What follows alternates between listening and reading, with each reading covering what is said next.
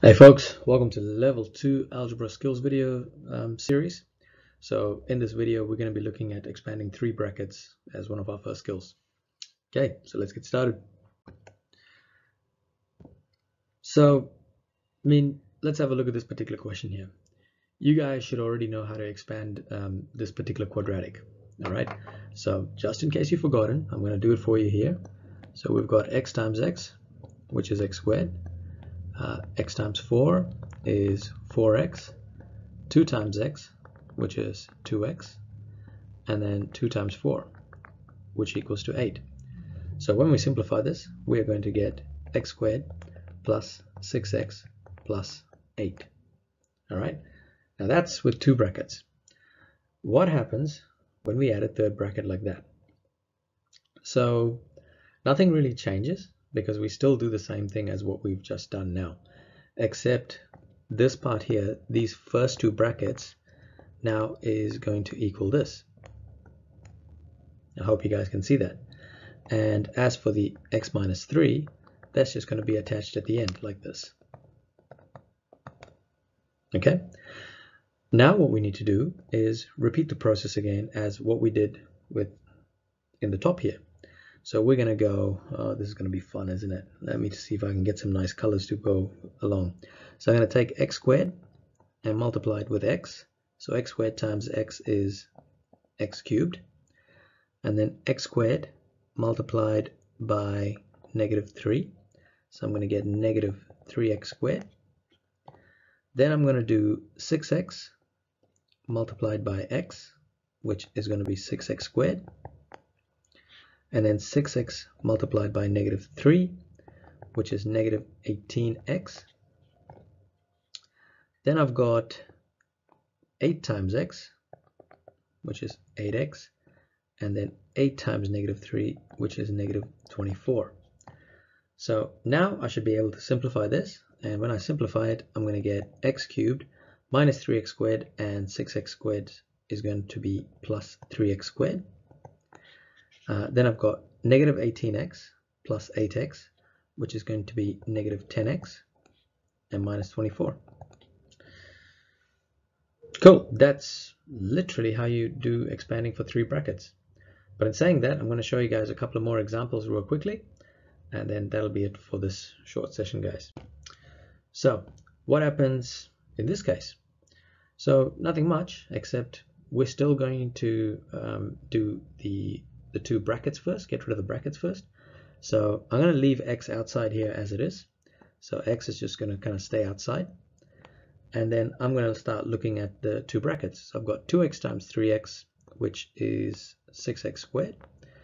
2x times 5, which is 10x. Negative 1 times 3x is going to be negative 3x. And negative 1 times 5 is negative 5.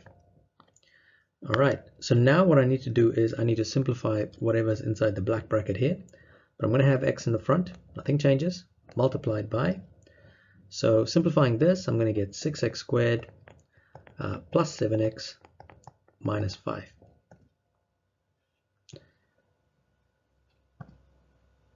So, well, hang on, just need to get rid of this. So what I have is I've got this now I need to repeat the process again, multiplying by x. So I've got x times 6x squared, which equals to 6x cubed.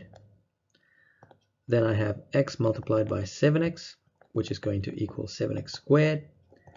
And then I've got x multiplied by negative 5, which is negative 5x. And that's basically it for this particular question, guys.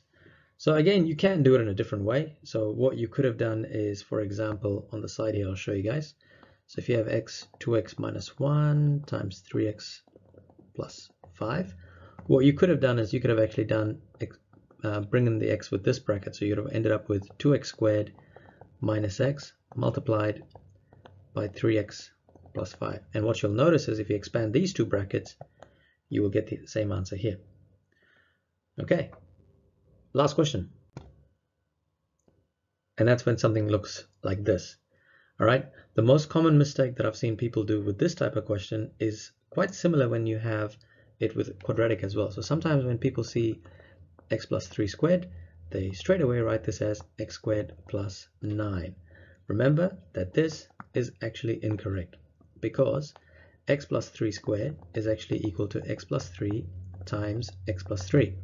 And when we expand this, we're going to get x squared plus 6x plus 9. So remember that. All right. So same rules applies here with with a cubic. Don't go away and actually write this as x cubed plus 3 cubed, which is 27. Because if you do that, you are incorrect. So what we need to do is expand the bracket out. So we're going to have x plus 3 times x plus 3 times x plus 3. Now, I've already worked out what x plus 3 squared is here. So I'm going to rewrite that as x squared plus 6x plus 9. And I need to multiply this with x plus 3. So x squared times x is going to be x cubed. x squared times 3 is 3x squared. 6x times x is 6x squared. 6x times 3 is 18x. 9 times x, 9x. 9 times 3 is 27. So simplifying this, I would have x cubed, 3x squared and 6x squared is 9x squared. 18x and 9x is 27x and plus 27 as the final part. So guys, that's basically it, um, how you actually expand uh, three brackets. And I've just shown you guys three different types of questions. Cool. All right, so that's basically it for this short video, guys. Uh, don't forget to like and subscribe, and also share this video with your mates. And if you have any questions, pop it in the comments below, and thank you for watching.